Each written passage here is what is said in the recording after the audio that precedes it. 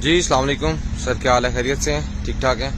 अच्छा sir Hyde Park की location के हवाले से ये वीडियो आपको सेंड करने जा रहा हूँ। ये सामने जो आप देख रहे हैं, सारा जो वर्क हुआ हुआ कंस्ट्रक्शन का और ये सारी डेवलपमेंट जो हुई हुई है, ये डी ब्लॉक है लेफ़्ट साइड पे और ये डी ब्लॉक की एक्सटेंशन है। ठीक है, ये पोजेशन पे प्लॉट्स जो आए थे, इन्हीं की बैक साइड पे आप माउंटेन्स देख सकते हैं। इन सबको मिला के compose of these mountains and the land behind this जो है ना, ये एक हाइट पार्क बन रहा है ट्वेंटी फोर हंड्रेड कैनाल्स पे। ये मेन बुलेवर्ड जो सीधा जा